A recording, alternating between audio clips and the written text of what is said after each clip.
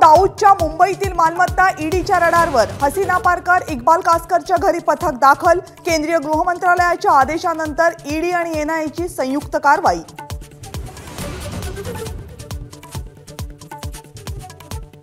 दुपारी चार वाजता होणाऱ्या पत्रकार परिषदेत शिवसेना कोणता बॉम्ब फोडणार याकडे राज्याचं लक्ष.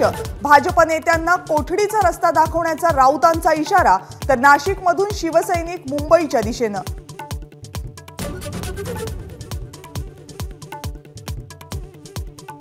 महागाईनं सात महिन्यांचा रेकॉर्ड मोडला. सहा टक्क्यांवर पोहोचलेल्या महागाईच्या दराचा सगळ्यात जास्त फटका ग्रामीण भागाला तर शेअर बाजाराकडेही लक्ष.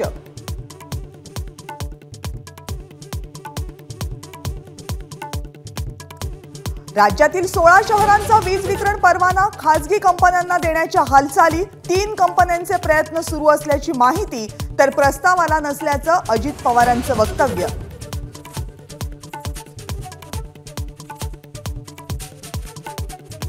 साईबाबांच्या शिर्डीवर दहशतवाद्यांची वक्रदृष्टी.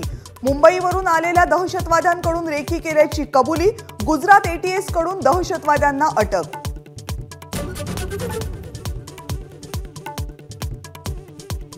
दहावी आणि बारावीच्या परीक्षांपूर्वी विद्यार्थ्यांच्या लसीकरणाचं नियोजन करा. शिक्षण संचालनालयाच्या शाळा उपसंचालकांसह शिक्षणाधिकाऱ्यांना सूचना.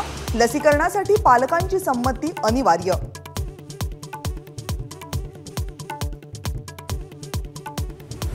आणि मुंबई पुणे एक्सप्रेसवर भीषण अपघातात चौघांचा जागीच मृत्यू. बोरघाटात सहा वाहनं एकमेकांना धडकली आठ जखमींवर रुग्णालयामध्ये उपचार.